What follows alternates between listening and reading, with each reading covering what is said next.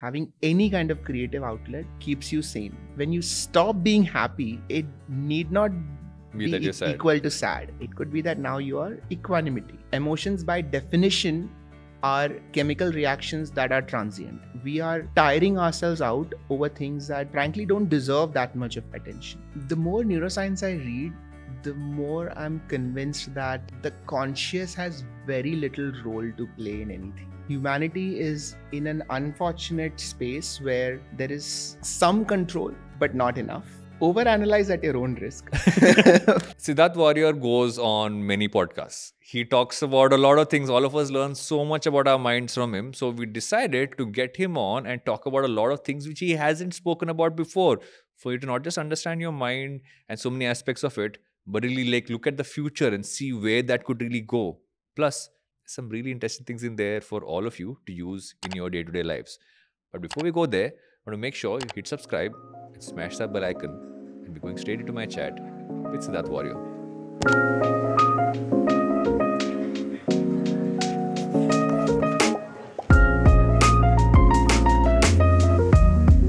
The tough part about preparing for a podcast episode with you is that what do I talk to you about that will be okay? I haven't spoken about this enough. I'm excited to talk about it Yeah. with you because you get pulled into these conversations from all angles. So I thought it'd be interesting to kind of let the audience kind of give me certain pointers they're interested in, and then we'll freewheel is what I thought. That sounds But- good. Yeah, because who better than ask people saying how, what do they want to know about their mind? Start off before questions from people want to ask you saying, you know, you went down this journey of creating content alongside your profession. At some point, what do you think each has learned from the other? That's an excellent question. Nobody's been asked that. So, um, I have learned from the medical part, I have learned that you can work harder than you think. Always. That's always my lesson from residency, from, you know, doing. Uh, from doing my residency in government hospitals, that's what I've realized. You think that you can't work harder, but you can if you want to. So that's been a useful lesson overall in terms of resilience. From this content creation side, it's actually not new for me because I used to write poetry before and I still do. So I have found that having that outlet, having any kind of creative outlet, keeps you sane.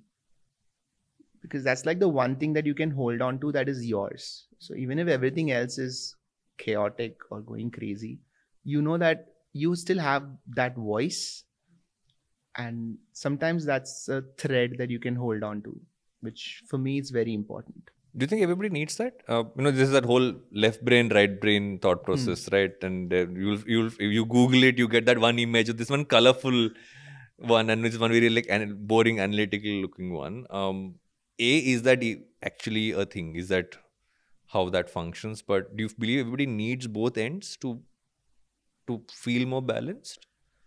it's not exactly accurate but i love what it represents so as an art form that image makes a lot of sense as an anatomical drawing not so much Yeah. uh, but yeah the balance between discipline of sticking to a schedule of doing something even when you don't feel motivated and the other side which is following your passion doing something on a whim Hmm. just not overthinking it being chaotic both of these things are important for you to grow Hmm. and people struggle myself included we struggle to find that balance because when we do only one thing we realize that we are not growing Hmm. and sometimes we can overcompensate and go Too many the things. other side and take on too many things and start too many things And then you feel explore too many things yeah. it becomes scattered suddenly you are in the middle of clutter and then you get a my room is so untidy let me clean up everything let me organize everything Yeah. Which you lasts for into- one day. yes one day is what it lasts. so that that balance that seesaw between discipline and chaos for me is that balance of left brain right brain where you have uh, you have motivation, you have discipline, and you also explore art. I also ask this because you know there was this interesting thing I was reading the other day about just generally how even emotions flow. Right? Um, is that when you you realize whenever you have like peak elation, peak happiness, you always feel that withdrawal, which feels like a low, very close right after that. And I was reading that that happens because your brain's trying to balance you out, like balance out. I I forget the the chemical, but there is a certain balancing, rebalancing is doing to kind of bring you back to normalcy. But do you feel a, a large part of the of what the brain's trying to do is to make sure that you are not swinging into one extreme and kind of coming back to some form of, of being centered, being or or is that is that me simplifying it? No, it, it is important to simplify it. Otherwise, these conversations can never happen. Um, but the the interesting thing is, emotions are felt and described at so many levels. So at one level, it is a neurotransmitter going and sitting in a in a chemical synapse and kickstarting an electrical reaction. That is a very zoomed in approach. From there, all the way to what we feel is a big journey. So when we say we are happy, what we we are trying to interpret those chemical reactions.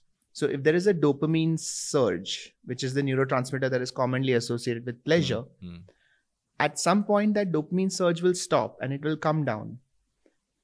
It is unfortunate that we can associate that with sadness. So when you stop being happy, mm. it need not Be be that you're e- sad. equal to sad. It could be that now you are equanimity. You know, you're coming back to equanimity. Yeah. But that is not an emotion that we usually deal with. Yeah. So we're either happy or sad. Yeah. That is a conversational change that needs to happen. You know that word equanimity, it's tough to pronounce. So I've, I've always gotten stuck. And I came across it. I was reading about mental fitness the other day, you know, hmm. almost that progression from mental health to mental fitness. Yeah. And this word is one of the core, like it is almost always one of the pillars of. Yeah. Can you explain that a little bit more for someone who doesn't get what it means and how that kind of plays into your mind? For me, the best way to look at it is uh, how we are always reacting to things. So if imagine if you are walking down the a supermarket, like if you're walking down the aisle, everything that you see will elicit some kind of reaction, either a attraction, uh, I want this, or a repulsion that oh I hate this. This is how the brain is wired. We are always choosing or rejecting things. Equanimity is when you are doing neither and you're just observing. Never an easy thing to do, but it's what human beings are capable of, much more than animals are. So to not do that is, I feel, a wasted opportunity. but it's it's tough to to follow right it's it's i'm gathering it requires you to almost like train yourself to follow that because our tendency is always to kind of flip around Yeah. um, and I feel oftentimes, especially I, I look at today's day and age, it feels like we flip to two ends a lot more than being at the center. Constantly. Yeah, but how how, how do you work towards that? Step one would be to be aware of this Hmm. uh, back and forth. Because if you think of the actions that you do throughout the day, Hmm. how many of them are actions and how many of them are reactions? True. Majority would be reaction. You say something because somebody said something. You do something because you saw something.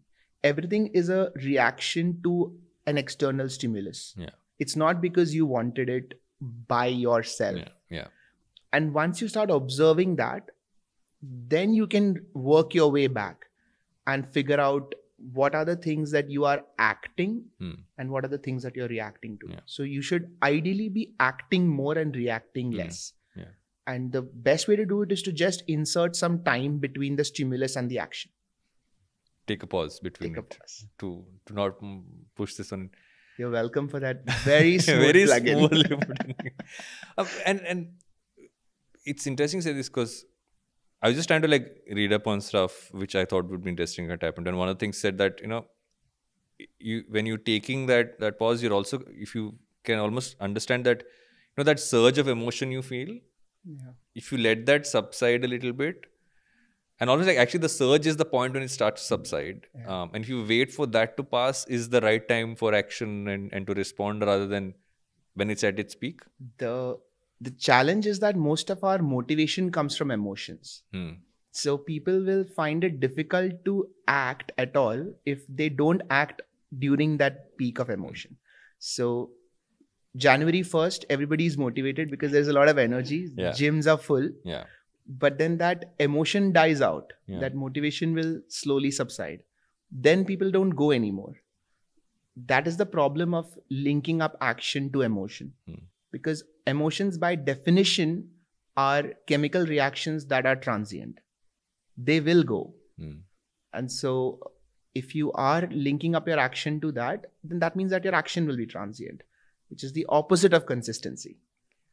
does that and consistency brings me to habits because is the way to really be able to find this balance to say okay i'm not focusing on you know just like reacting to things i'm just setting systems that i'm constantly following so i'm, I'm almost taking away this need to find that i'm not reacting just on the emotion i'm reacting to this thing would Yeah, you say so- that's true A habit can never be a reaction.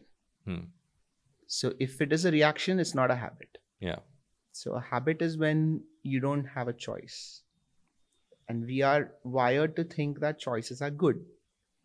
More choice, the better. Which is unfortunately the Yeah. biggest scam that has been pulled on us. yeah that's the biggest one Yeah. When you say choice, I, I remember reading about this. Um, uh, if you walk into an American supermarket, Hmm. the amount of breakfast cereals you see, it's an immense number, right? And all flashy colors, all this thing. And then I'm, I'm in India now. We're slowly getting a lot more.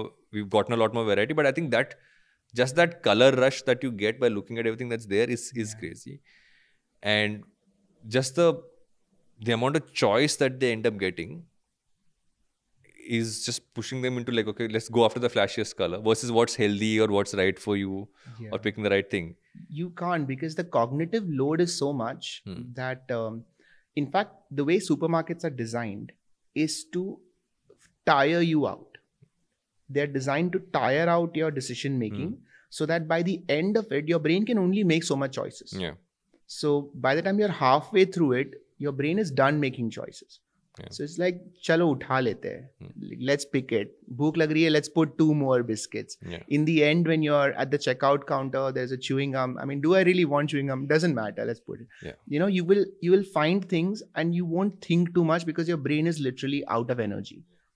And that is the problem in today's world that we are tiring ourselves out over things that frankly don't deserve that much of attention yeah because we have a constant rush of options and choices and you're also at a point where like I, f- I forget the, the actual name for it. It's it. I think someone called it the uh, the shopping cart syndrome or something like that. Um, I know the multiple terms. Is that you get that rush when you hit add to cart yeah and not necessarily when you get the actual thing. yeah And so there was this interesting uh, point. So I think I, I think I read on Twitter where someone said that I just keep adding stuff to cart and ignoring it and eventually taking it off. So I get the surge. I don't have to pay the money for it, which was an ingenious way to get that at least a, a minute part of that rush. Because once you yeah. get the thing, you don't care about it as much. You want to buy the next thing and the next thing after that because it's so Yeah. easy to just keep adding stuff to cart. that's a great startup idea Yeah, if you could have a filter on top of amazon yeah, where it gives you all the pleasure of Just buying. And if you want, it'll even send an empty box to your Yeah. house. yeah. And um, you get the pleasure of opening it also, and you're done. It's um, somebody should do that. Yeah. No, there's something to design and designing for neuroscience and designing for the mind. Yeah. And I feel it's always been a thing, but people haven't realized it. Like it's about what colors you use in specific spaces, what you put at the checkout counter, like we just spoke about. I remember talking to a, a couple of people who had worked with Star Sports on embedding neuroscience into advertising during the IPL Oh, yeah. um, when you look at how you design spaces and, and and especially things like that what does what seems to be the open secret that everybody seems to know that the consumer doesn't know This whole thing is under neuromarketing, Hmm. which is understanding decision making and how can you manipulate them or how can you influence them.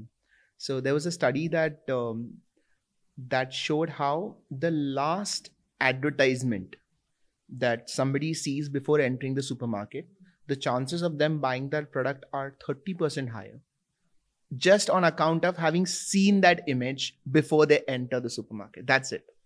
So, uh, con- advertisers want their product to be the last thing you see. And so it makes sense for them to constantly bombard you everywhere all the time because the, it increases the chances of you buying it. In in terms of design, I love that we are now talking about this because it means that we can now reverse engineer this and use it for our own benefit. Because it ties up with what we were saying before that we are reactionary animals. We are not action taking animals. So once we accept that, Yeah. we can stop putting so much pressure on ourselves to act perfect, to act disciplined, and instead put our energies into designing a system that can make us react in the way we want. Yeah. Which for me makes a lot more sense. So even if you take an example of this podcast setup, Hmm. because you have the chair in place, the mics in place, everything is already in place. The friction for you to record a podcast is Mm. so much lesser Yeah. versus if you had to set this up every time, So true. right? So this is a great example of design helping us achieve more. But for that, you need to think about it and create that system. Yeah. And everybody should be doing this, but people are not. People ins instead do the opposite. They will create more friction. They will make it more difficult for themselves and then wonder why am I not being disciplined? Why am I struggling? Yeah. That's the sad thing. It's that o- o- old thing people say, no, that keep your desk clean so you can feel clutter free. And I feel that's in many ways that that that makes sense. Like I have a lot of post-its which a, with a few like to-do lists and a few other things just there on the right side of my desk at all times.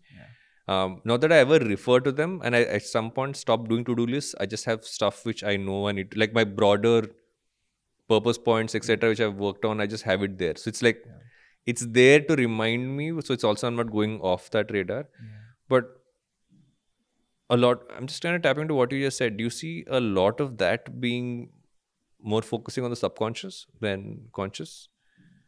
And Yeah. then if we know it, there's a then transmit go away from the subconscious to the conscious.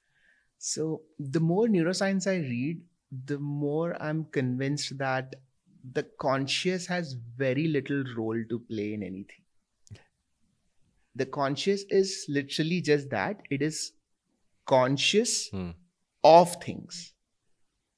But that's it. Everything else is happening. All the decision making is happening at much deeper levels of the cortex and Hmm. subcortex. Hmm.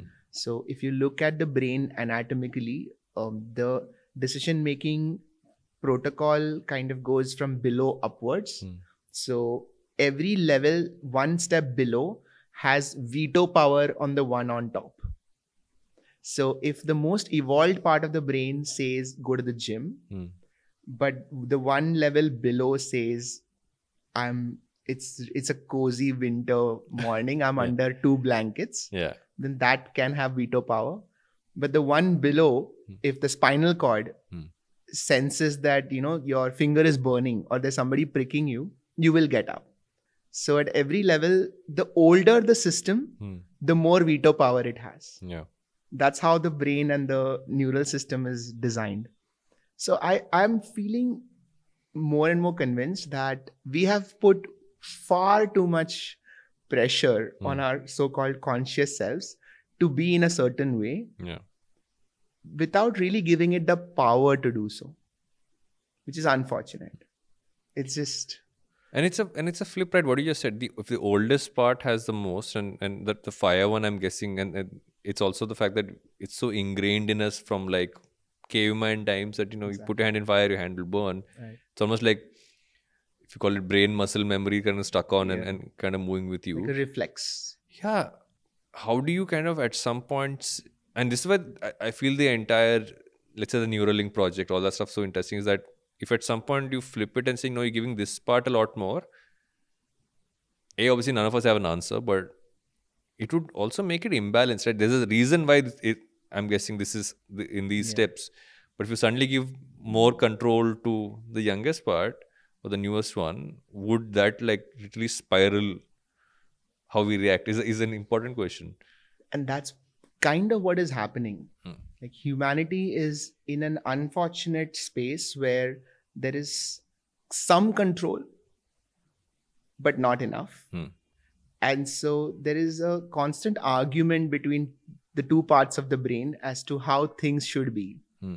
So the limbic system thinks that whatever is happening right now is the most important thing. Yeah. So am i getting enough food? Am i am i safe? Am i warm? Am i do i have friends? Do i have power? Do i have money? All of these things are really important to the limbic system because it helps in survival. Hmm. do i have a partner? Do am i am i in a relationship? Do i have sex? All those things are core drives. Hmm. the the prefrontal cortex which is the most evolved part of the brain has these different ideas of of uh, of of justice Hmm. and uh, morality and how things should be in Yeah. 10 years down the line the limbic system doesn't care 10 years down the line wants what's now it's it wants what's now so 1000 rupees today is worth more than 5000 rupees in 3 years Hmm. because what is 3 years Yeah. It- who knows what will happen in 3 Yeah. years the limbic Yeah. system definitely doesn't yeah so the way we look at life is very different depending on which part of the brain is looking.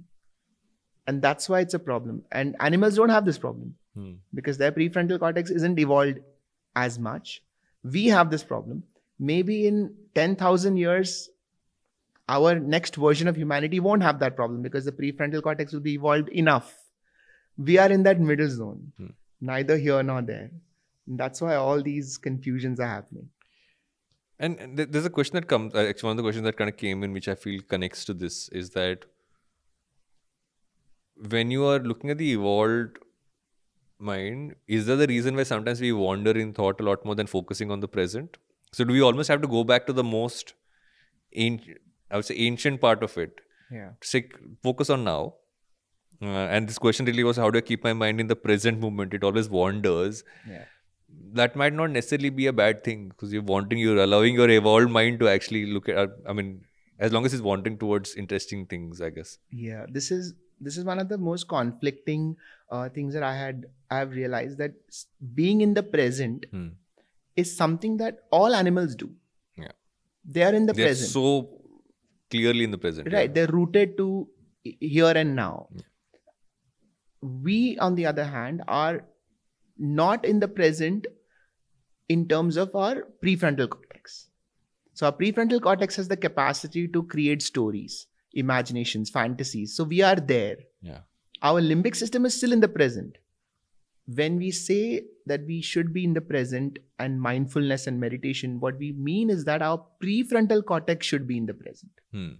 and that is the challenge because it it has so much to explore that it prefers to do all of those things and instead of staying here and now So you're actually finding things that it will find interesting, which makes sense because you know if you if you have followed any guided meditation, they'll always say find one thing to focus on. And I yeah uh, I remember um, talking to someone uh, or I was listening to a meditation where someone talked about vipassana. Hmm.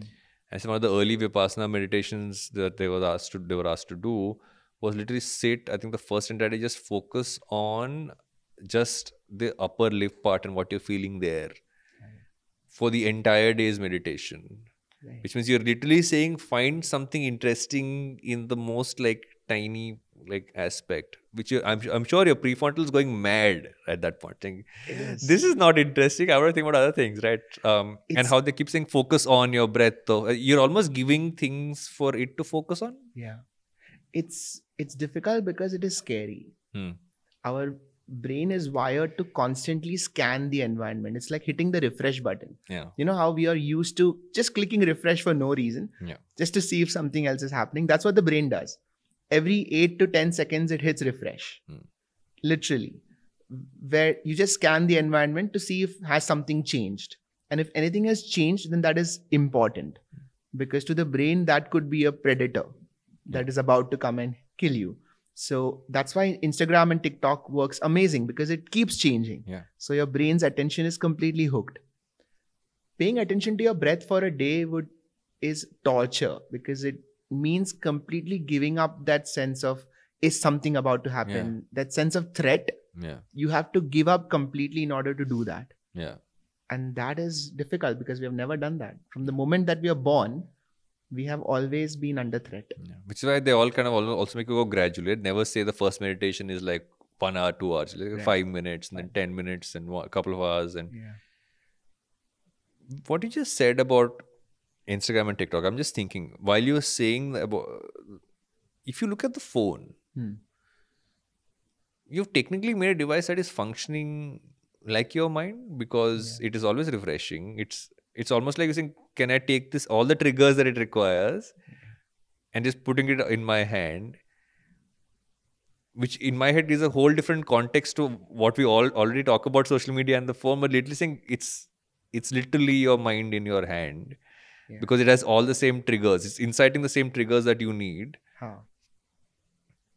and and now you're saying you're going to put that Inside. with glasses on your face in your head putting a chip in there oh that's a whole different uh, can of worms. So it's going to happen. Yeah. It is inevitable. Yeah. We put a chip in our head. Yes. Which is why it becomes almost urgent that everybody knows how the brain works. Hmm.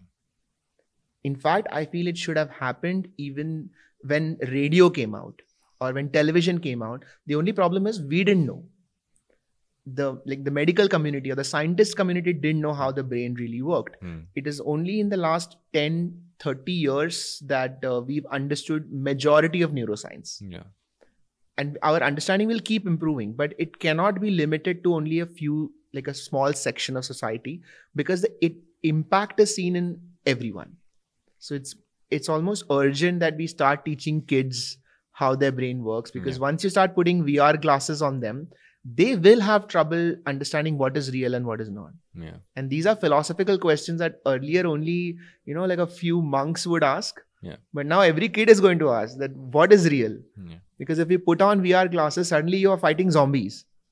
yeah And then you take it off and you are not. So how does that make sense? you know my my my daughter started to play roblox Hmm. um i noticed that she was so she gets limited screen time in the week she was watching roblox videos on on youtube kids and then i said do you want to play it? So i and i always try to scan what she's playing and stuff. And i've seen her go from someone who wouldn't game in that sense to hmm. now whenever it- she gets it and whenever she can play it yeah i'm seeing cognitive sense really kind of skill up because she started off as because she had to learn how to use two hands Yeah. to do the thing on the ipad but she's also learning how to navigate through specific things and but the part of me is also like little worried saying one thing i got to understand the ramifications of what this means for a five and a half year old's mind Right. um, and so it's very limited quantity there Yeah. but what you said makes me think that rather than telling them this is what the effect might be if you actually teach them this is how the mind works first Yeah. and then go to the effect they might get it a lot better I think they would. You just have to explain it in their words. But all children create a a world or, or a mind map of the world in their own way. Actually, all adults, every human being does this because not everybody is educated in the same way. But that doesn't mean that they don't have a worldview. It's just that their worldview depends on their level of education and the words that they have and the concepts that they have. So children will also form a worldview.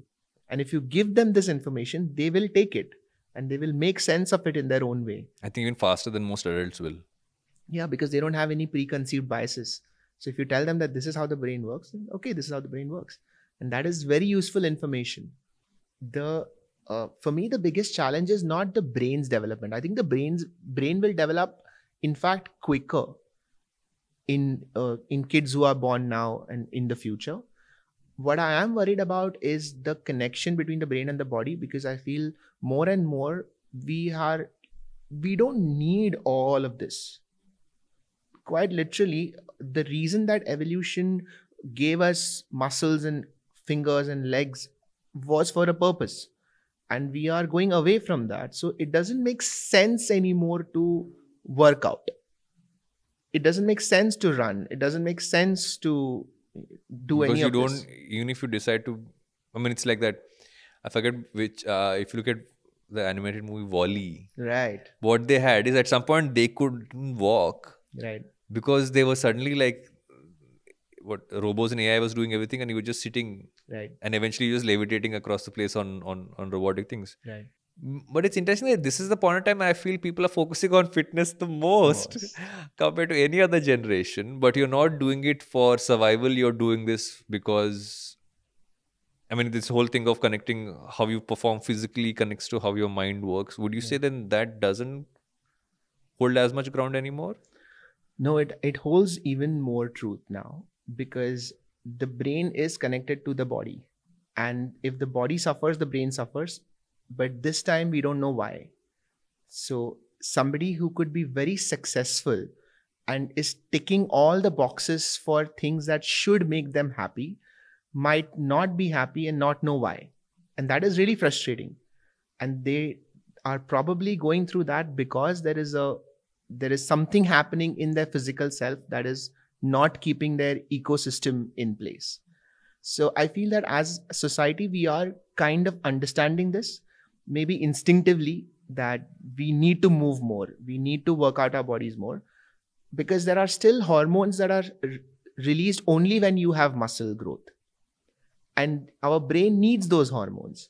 So one way to keep your testosterone levels high is by working out regularly. If your testosterone levels drop you can have problems in discipline in focus. You can have depression. There was a study that showed uh, in rats um, there was this there was a difference in their in their mood after putting in testosterone.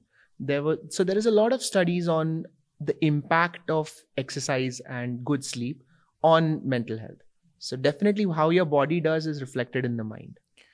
But the only difference here is that instead of letting it be a natural form of these things, we have, I mean, just think of sleep, right? And, and, and the amount we speak about sleep. It's also leading to an entire ecosystem of saying we focus on sleep is becoming more, which is why now suddenly you have entire product lines and categories of people coming up with stuff, everything from a sleep tea to uh, to tablets to everything else, which help kind of put that in to like sleep tracking for you to like yeah. like I I was obsessed with that initially when I first got that tracking on the watch, and I would actually wake up in the morning and check how much was my REM sleep versus how much was the other thing, and and I experimented by saying if I listen to a guided sleep meditation before I go to bed, does that increase my REM sleep or do I go to my REM sleep faster? And I actually saw that that was true. That if I listen to listen to a meditation for and I normally do like a, I do that every night before going to sleep. I do a ten minute just earphones on and I take it off.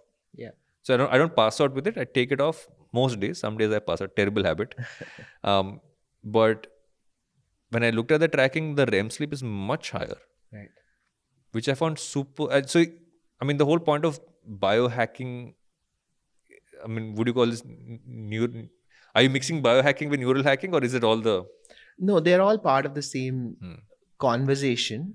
Uh, so the best part of this whole feedback mechanism is that we understand our body better. Hmm. That is always good. So earlier we didn't know why somebody would suddenly be dropping down unconscious, but later on we were able to check their blood and check their blood sugar. Yeah. That is very useful. We now we know the chemical constituents of blood. Now we are getting into the brain feedback. So we can look at EEG, we can look at uh, you know uh, what is the level of sleep. We still haven't come up with devices that can take use of this, but I think that's a matter of time. The more we understand ourselves, the better it is. I I truly believe that. The only thing is that sometimes too many variables can mess us up you know if uh, if we have to think about too many things again it is the supermarket effect all over again so we don't want that much we don't want that many choices so for me biofeedback is something that you should probably do once in a year just like you do your blood pressure checkup your sugar checkup your creatinine checkup just make sure everything is okay and then go back to your everyday life Do you feel that we'll come to a point, and I'm, I'm circling back to one of the points you spoke about earlier, which was how our emotions really drive our actions. we'll come to a point where the same way how we're figuring out sleep and figuring out some of these, we'll be able to come to a point where actually be able to, like, is there an emotion hack at some point that kind of can be put in? So I can think about how I feel angry, how I feel sad, and how that functions for me as an individual. I think so. Uh, once we figure out why this happens, and to a large extent, we already know. Like the basic networks that are in the brain, we Hmm. already know. Hmm. When it comes to fear, when it comes to anger, we understand it. At least the scientists understand it. I think the it Regular still hasn't, per, uh, yeah, it, is, it still hasn't sunk into the everyday conversation, but it will. So if if you break your arm and you're unable to lift something with your arm, people can see it and they can say that, oh, it's because you've had a arm fracture that you can't lift it. But we don't talk about how what trauma does to somebody's emotions Yeah. in that way. Because you can't see it, it's all vague. Yeah. It's only a matter of time. Once we can figure out that, all right, so you are more threatened by certain situations because you've had these past experiences Yeah. and this is how you have to heal so that you can become all right again Yeah. once we start talking about things in that way and in a completely non-judgmental way Hmm. i think that the way we look at mental health will change And also because all of us react to situations so differently as individuals. So it's not a. I mean, I, I know that that goes for the body as well, but that's the the hypotheticals because it's not definitive in terms of you, there's no actual metric to to catch it yet. yeah It's like one of the questions that came in is saying, "Why do I cry when I'm angry?" mm. Not everybody cries when they're angry, but a, a, a large amount of people do. So, if stuff like that is that, how do you even is the reasoning the same for every person who cries when they're angry, or is it different? so crying is interesting because um, crying is conveying helplessness or crying is a call for help. Now helplessness we usually associate with sadness or grief but anything can make you helpless. Any strong emotion can make you helpless. And so your your brain doesn't really divide between the final outcome. If you're feeling helpless it'll trigger that crying response. So if you you could be helpless out of sadness you could be helpless out of laughter you could be helpless out of happiness anytime you're overwhelmed by emotion to an extent that you can't make decisions anymore you start crying because it's somebody come and help me so anger can also make you feel helpless and so you'll cry So, what about people who don't? So, why I brought that up is it's an interesting one, right? Because you know, you there's always that. I go back to college. You would have people who would say, "But, but I don't cry." Hmm. Um, so the threshold uh, is that a threshold piece, or is that in some cases it's just not something which really applies to an individual? Because, like I, I'm someone who will cry for the most random things, not necessarily for things people assume that I would cry for. Hmm. Um, like a huge loss might not make me cry, Right. but something which people would look at, okay, that's not that deeply impactful, would would make me cry. So I, I I'm on that spectrum of things, and I've always wondered, does that make me less emotionally connected to to bigger things and more emotionally connected to really tiny things? Um, is the wiring different? so overanalyze at your own risk first of all You cannot uh, tell anybody not to analyze. Now we have enough information thanks to Yeah. thanks to everything which we've been reading. that's but the yeah. thing so when we when we read about things like this Hmm. uh, we have to be very patient before jumping into conclusions. Yeah. but at the same time it is very interesting. And we are all narcissistic. We want to know. We want to be talked about. We want to understand ourselves more. Nothing wrong in that. Yeah. my take on this is that different people will have will experience that sense of loss of control at different things. Hmm. so somebody who has been through a business sold a business doing doing something professionally has a loss. They've been through it before. They know how to deal with that. But something new something that they cannot control even if it is momentarily would probably trigger a tear for that one moment because it signals transient helplessness. Somebody who's uh, trading for the first time and they lose their first lakh for example Yeah. they might cry Yeah, for you know? sure. they'll think of all the things they could have bought with that money and all that. But then somebody who's experienced 30 years trading, they know that these things happen. Yeah. So that ability to make that jump is a learned one. So the more information you have, or rather, as you get older, you have more, you have less reasons to cry for everything, which also would mean why kids cry a lot more when they're like say toddlers, babies, because the Yeah. tiniest thing is a, they don't have memory of past experience. Yeah, everything will make them feel helpless. Yeah. So feeling a little hungry will make them feel helpless. So right from that point, uh, not getting a toy, not getting more screen time, they are constantly feeling helpless. They have no control. I feel the more the interesting part about this is that it's also like these are smaller t- triggers, right? I mean, we'll, you'll cry for different things. You will you will get angry for different things. Um, you you will you will see how people laugh, and you'll. I think we generalize a lot of these emotions, but like you said, you you shouldn't over generalize, but you shouldn't go too. You shouldn't over analyze as well Yeah. because you can go really into like random territory. But if you take a step back and look at something like, let's say, narcissism, for instance, you mentioned narcissism. How much of that is how our minds are wired, and how much of it is the things we see as we grow up? Now, this is my take. Hmm. I feel narcissism is inbuilt. It's it's almost like a survival technique. Hmm. If you don't care for yourself, it's so evolution has failed.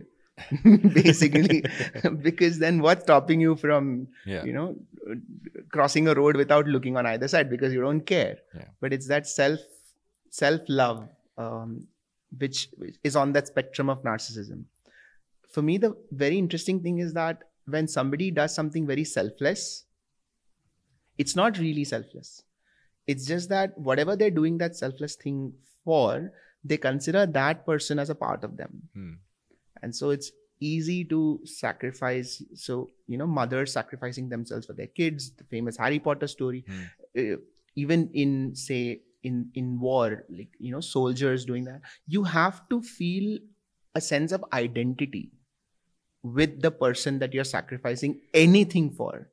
So i feel narcissism is uh, required. You need to feel that and and for the people who are higher on the spectrum of people who don't care as much for others but their focus is on self-preservation more than anything else. Right. so would you say that's the spectrum that you kind of veer towards? Yeah so if your identity doesn't leave your body at all and you are you have no Everything space is me. for everything is me then it becomes pathological.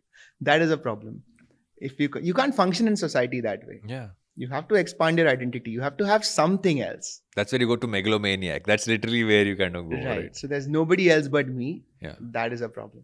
Now let's say that you're on this side of the spectrum and i, I don't don't think it's just a narcissism thing but when you're taking decisions for instance um, there's a question here saying you know when you're taking decisions you're at peace with yourself when you make the right decisions. Hmm. but how do you stay at peace with yourself when you make the wrong ones because your mind's triggering the fact that you did this wrong like you know data is being fed in there. How does the decision making part i know we've tapped into this but especially with like your mind being at peace with some when something goes wrong right. is that a obviously a, a natural triggering mechanism but and, but can it also be trained to not trigger that way? Mm, so when we when we take any decision we take it with the full certainty that this is the right one. Generally we nobody will do something knowing that this is going to Yeah. harm me Be- because they have done some calculation and at the end of that calculation they have decided that this is the thing to do Yeah. when circumstances prove you wrong all of that guilt or regret is basically just your brain trying to teach you a lesson Mm. so that you don't do it again so i have a very optimistic view of the brain i don't think it's an evil character Yeah. i think the brain is like a very you know concerned elderly uncle who just wants to you know make sure ki, beta Yeah. I, you, you know you should learn this. This is for your own good. So it it will make you feel bad. It'll send you to your room because you know you don't you shouldn't do it again. The silly thing is that it'll keep doing it no matter how old you are. That's true. Even if you're 40 50 your brain can still punish you for doing something wrong Yeah. instead of just trusting you just like okay you will you will learn from this Yeah.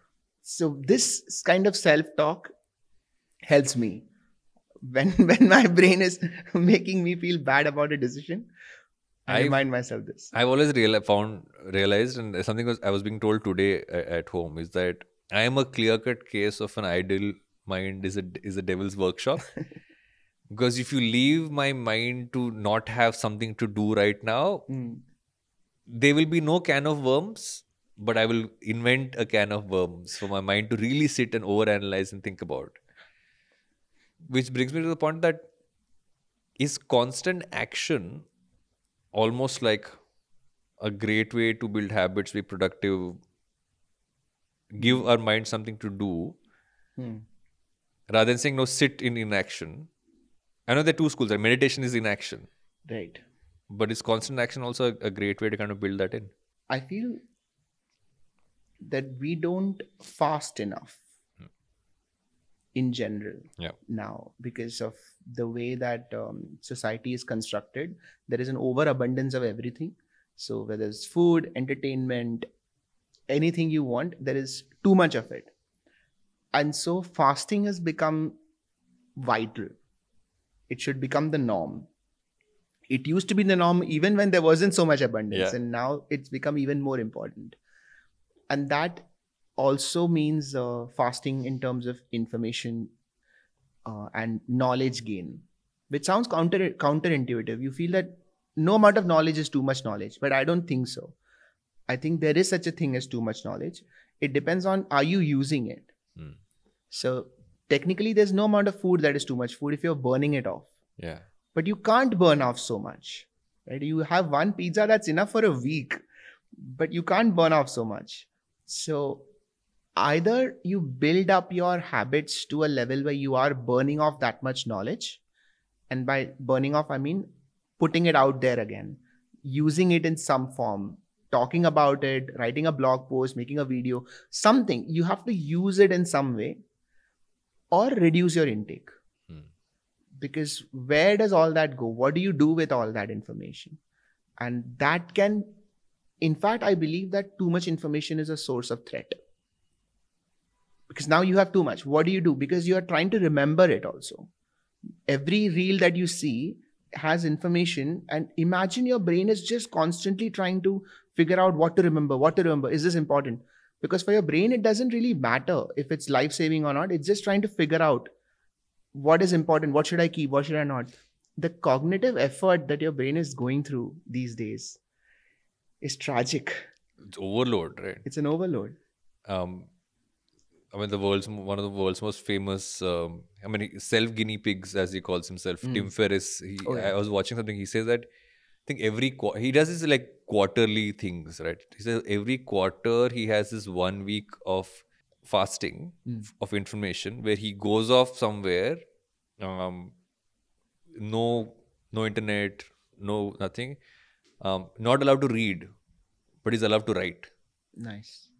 And he says that's really almost like a reset he does for his mind every three months. Yeah. So kind of comes back, he's like, okay, it's like it's, it's that one week long reboot that he does. Amazing.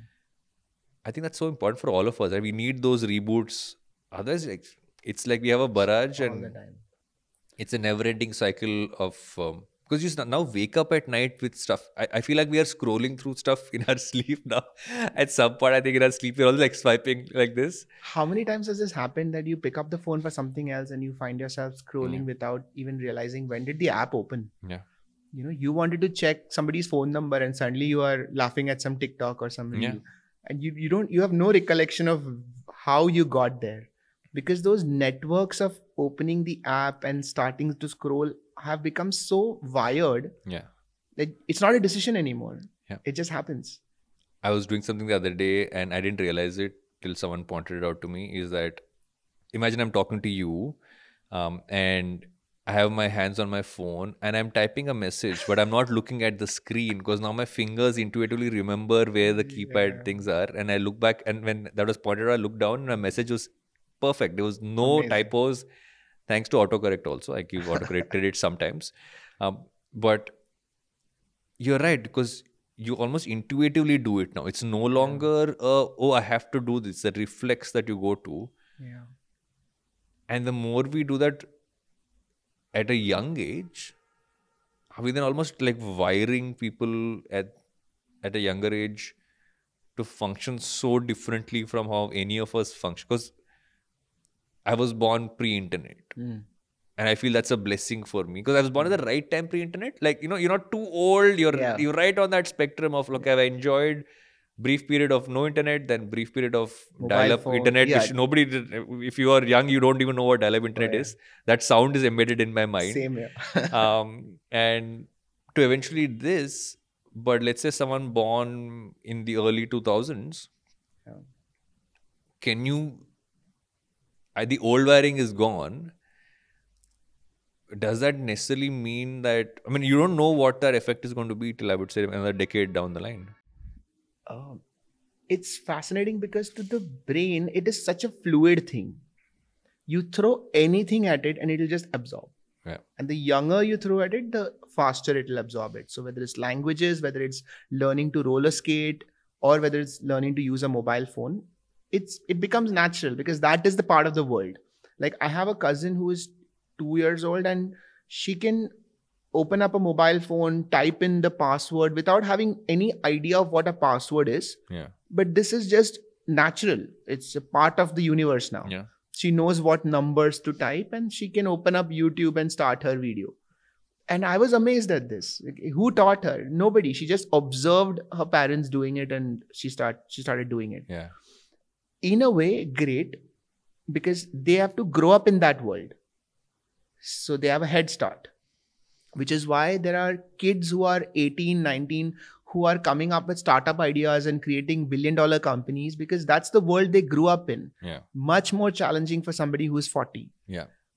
because that's not their basic thinking isn't like that they have to force themselves to learn a lot of new stuff it's just a challenge for anyone who's about 30 i think to constantly keep updating themselves So you've actually flipped it around. You're saying it's easier for someone born closer to now 100% So there is no. So basically, I my hypothesis is is wrong because my assumption was someone who understands old world and new world in a balanced form at that correct period Mm. would have the advantage, if you want to call it that, Mm. versus someone who's too close to the present or too far away from it. So the way i think of it is um, for them technology is their mother tongue. True, and for us it's something that we've learned in school. That is also we true. can never ever gain that same level of fluency as somebody who's just brought up speaking that language. Which also ma- makes me think about the fact there was this recent article about obviously OpenAI and ChatGPT being Oh, what they are. I said the worry for someone like Google is that today Google's still predominant, but for someone who is very young and discovered ChatGPT now, it'll be the only way to function with search as they're growing up. They won't even get like, what is this Google thing? Why should I look at? yeah Why can't I just have a conversation with my search assistant? absolutely because if you think of uh, how we used to find information 50 years ago we used to go and ask around Or find an encyclopedia for people Or- who remember what that was. yeah a library for god's sake Yeah. and look up things. But uh, then Google came along. But even Google seems so outdated now because it'll give us websites, Yeah.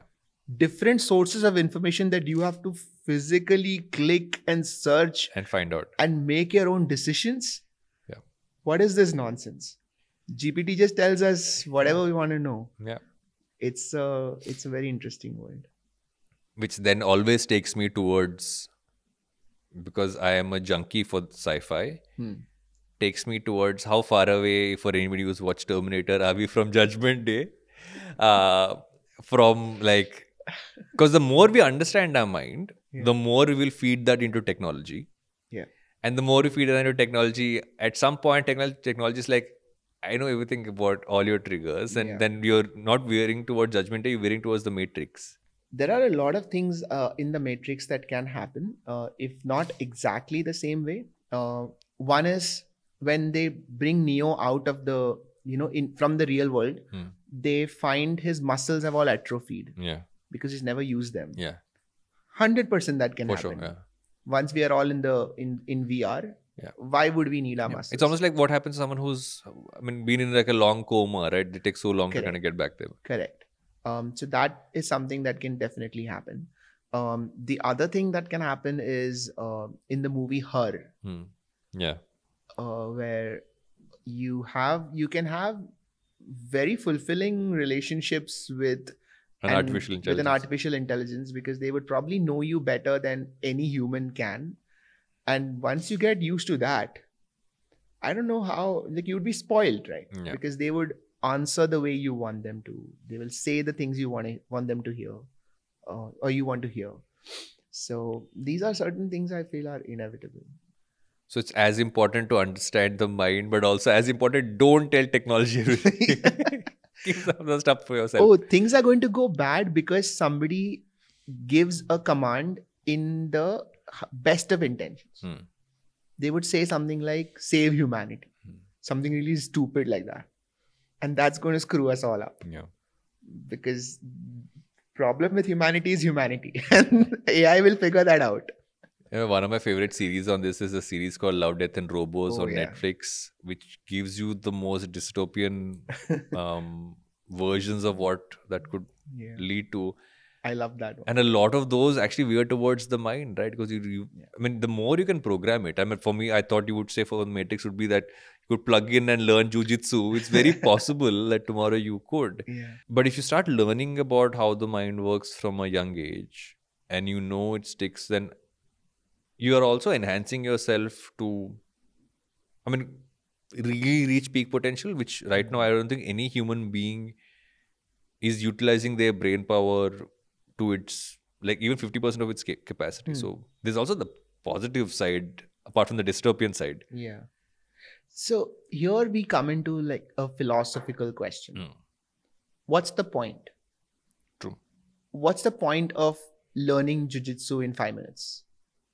Then what? Because You're taking it- away the fun of the of the learning experience. correct. And also, if you can do it, that means everybody can do it. yeah.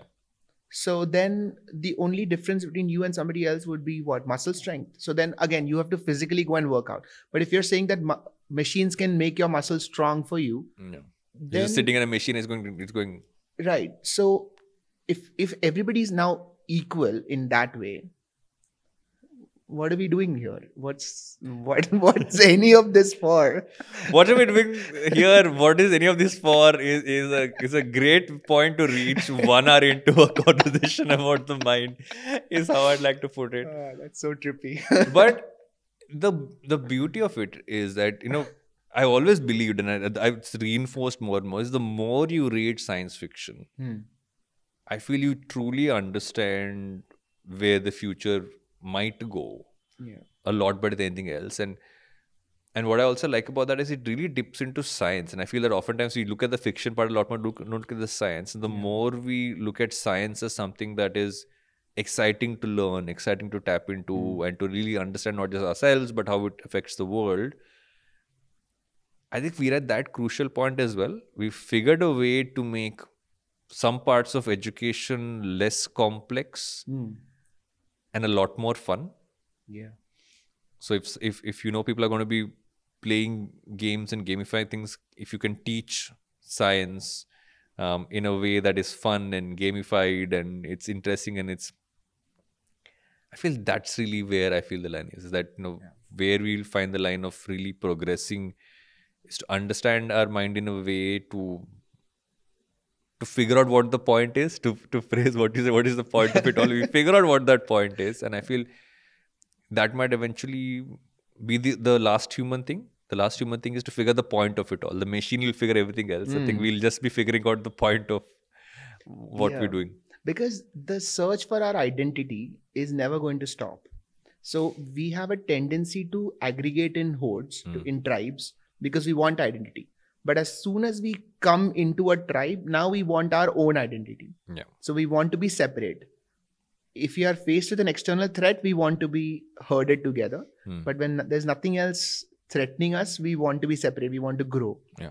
so that is never going to change. We are we will always seek to have our own thing. So if everybody's learned jiu-jitsu Hmm. probably the person who hasn't learned jiu-jitsu will stand out That's true. which is what the counterculture is always about so you will notice this in children E- every generation will find some way to disobey their parents Hmm. so the more and here's a parenting uh, nightmare the more understanding you are the more you're pushing your kid to find some crazy ass thing to rebel with Hmm. so if you if you're okay with tattoos that's tattoos out of the window because what's Yeah. the point of getting a tattoo now Yeah. and if you're okay with them driving a bike that's also out of the window so they will keep because they need to find their own identity who am i against the backdrop of all other children Yeah. and this instinct is never going to go so uh, i feel that even from that perspective so important to have this conversation of this is what your brain is doing understand where this instinct is coming from Hmm. and then take a call Yeah. so this is what informed decision making looks like Yeah. instead of just being swept away by it all I think informed decision making is a. I feel that's not just a kids thing anymore. I feel that so many adults need to be taught that as well. But I guess if you teach it in a simplified and actionable way, yeah I feel more people will. And I, I honestly come to believe that the reason why people are so much more interested in how the mind works in the recent few years is because it's finally being presented to them in a in a way that a they find it engaging, yeah but it's also like it doesn't feel like oh my god, like, I- can't figure this one out. Yeah. For me, the most important thing about what neuroscience is offering is it gives you a structure Hmm. to see yourself, see the world, see your experiences in a different light. So every generation had its own structure. So maybe five centuries ago it was religion. That big that became the protocol. That became the lens through which you know you see Yeah. everything. And then there was psychology. So I feel that now we are entering a phase where we can look at everything from a neuroscience perspective, and that is closer to the truth because it's closer to biology, it is closer Hmm. to science Hmm. than anything has been till now. And that's the promise. It's not, of course, there yet completely. There are a lot of things that neuroscience can't answer. Yeah. But I like the direction in which it is going. Yeah. going. I can keep going on, but we'll always leave some stuff to bring you back on for. I feel this is a conversation where we've unraveled a bunch of things for people to think about. Yeah. Um, I'm hoping it does the same thing for the people who listened in and watched in, which which is going on in my mind right now. Is that I'm trying to unravel and and think about and literally like you know you're soaking in all the stuff we've discussed. Um, so thank you so much for coming on and, and, and sharing all that you've shared.